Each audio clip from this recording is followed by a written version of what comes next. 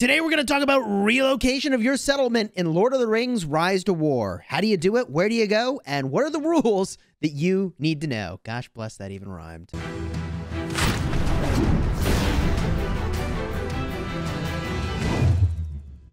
Hello, my friends, and welcome back. I'm Chisgule Gaming, and you may have noticed there's an item in your inventory. It's a relocation ability used to relocate your settlement once. You can do this, and then the item disappears.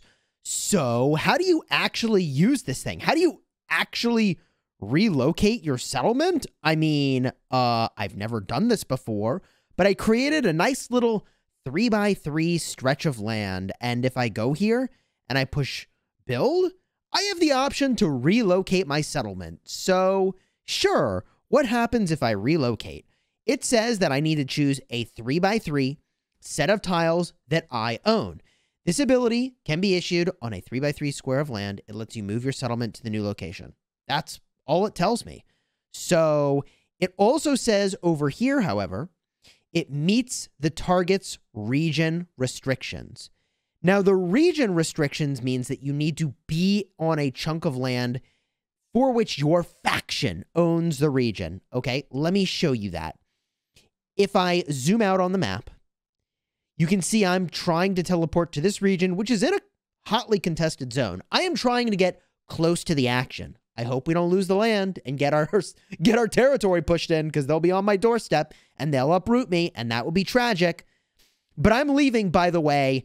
Oh my God, I am leaving a resource paradise. A god tier resource paradise because I have enough resources.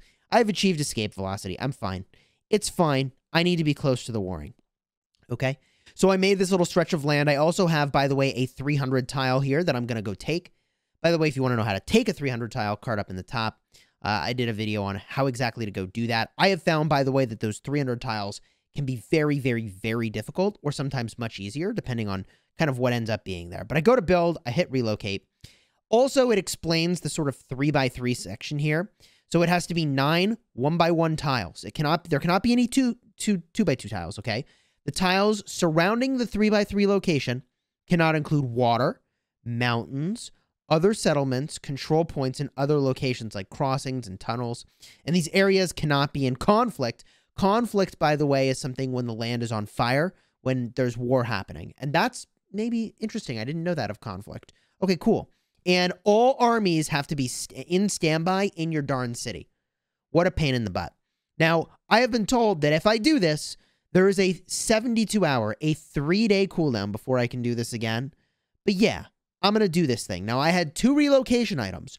One of them was seasonal, and that seasonal icon, by the way, means that it only applies for this season within the game. This little icon in the upper right. I hope it will use this one first rather than my one that can be used in any season. But let's find out.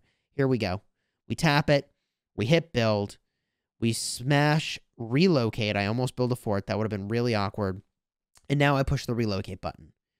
What does it say? After relocation, the settlement will be moved to the designated location, and the land on which the settlement once sat will be lost. Hooray! I'm going to get those nine tiles back. Okay?